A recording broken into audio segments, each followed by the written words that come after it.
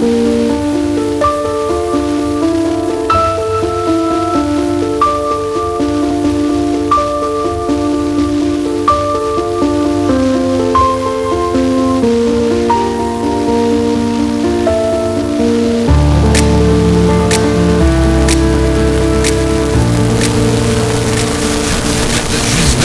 Vous allez pouvoir avoir entre autres, et j'ai regardé un petit peu les fiches de mon ami Eric, Dépêche Mode, il y aura aussi euh, Kyo, Donna Summer, et puis Armand Van Elden, You Don't Know Me.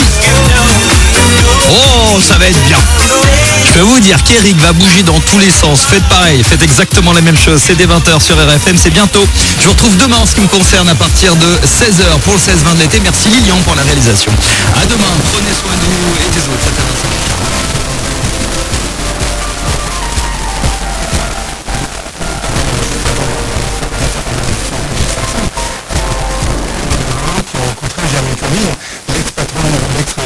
Travailliste anglais qui a été, qui a été exclu du parti, du parti travailliste pour n'avoir pas fait, ça c'est un euphémisme, pour n'avoir rien fait grand-chose contre l'antisémitisme au sein même du parti travailliste.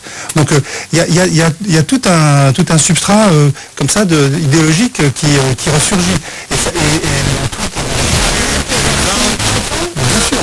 Raphaël Rémi Leleu. En fait, je ne comprends pas quel est le sous-entendu. Vous pensez que la France Insoumise est un mouvement antisémite? Non, mais je pense que je pense qu'il y a des il y a. Mais c'est important en fait qu'on soit extrêmement clair dans ce débat sur ces sujets. Au sein de LFI, des, des accointances, des accointances avec une certaine forme d'antisémitisme.